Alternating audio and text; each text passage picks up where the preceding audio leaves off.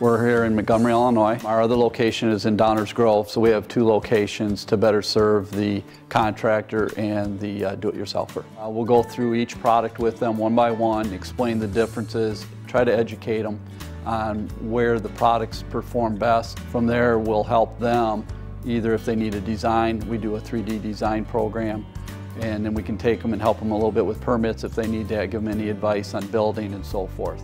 We provide delivery, uh, which is done with a forklift. We don't drop anything like a lot of the places do out there, so there's no damage done to the product. We sell to a lot of contractors. They'll come to us with material list. We provide them a quote. They get special pricing as a contractor. We stock all the big companies, Trex, TimberTech, AZEK, and Fiberon. So we're able to typically deliver their material in one to two days.